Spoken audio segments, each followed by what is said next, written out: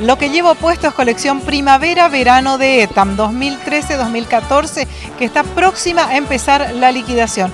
Usted ya sabe, la encuentra en las tradicionales esquinas de Junín y Catamarca.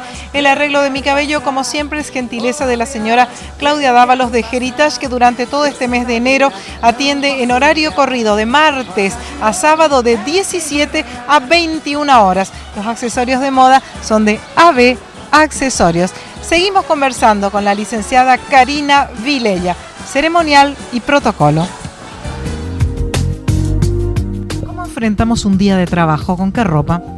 Con básicos, básicos, básicos. Ese pantalón negro, tu camisa blanca y vas elevando tu guardarropa, tu make-up y tu cabello a lo largo del día. Puedes arrancar a las 8 de la mañana sin el trabajo, puedes escaparte a las 12 del mediodía al civil de tu amiga y ya te pones unos aros importantes y una boca más interesante.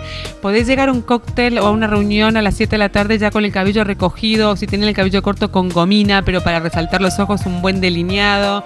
Ya vas con pulsera, ¿sí? Y si tenés que llegar a una cena fabulosa, carteras, en eh, zapatos en la cartera, en una bolsa o en el baúl del coche, unos estiletos rojos o animal print o algo shocking y el mismo básico te cambia absolutamente llegando impecable a una cena mucho más elevada como puede ser algo, un lugar tan lindo como este donde estamos hoy ahora. Eh, finaliza, un fin de semana.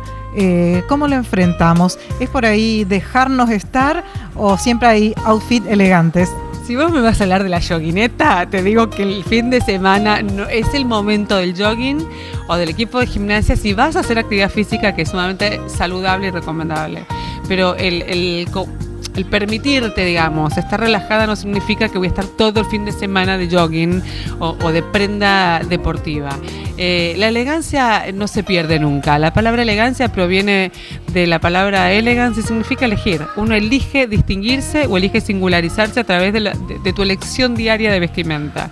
Entonces puede ser elegante en jeans, y remera y zapatillas, tiene que ver con un pensamiento y un movimiento elegante, tiene que ver con una postura, con tu fluidez del lenguaje a la hora de conversar con unos amigos y, no tiene que ver tanto por qué tenés puesto o qué marca llevas. Es, es una actitud más que, digamos, una exposición o una exhibición de lujo. Que tengas buena estadía en Corrientes. Seguramente así va a ser. Muchas gracias.